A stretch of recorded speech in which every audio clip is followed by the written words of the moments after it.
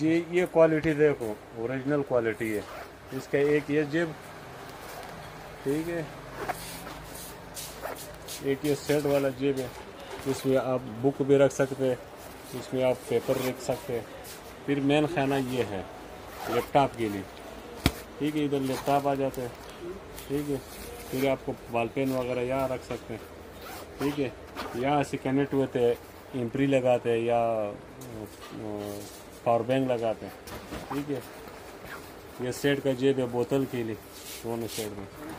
Quality imported ठीक है। Washable machine भी पे धो सकते हैं वैसा भी धो सकते हैं ठीक है? ओरिजिनल क्वालिटी इसका ये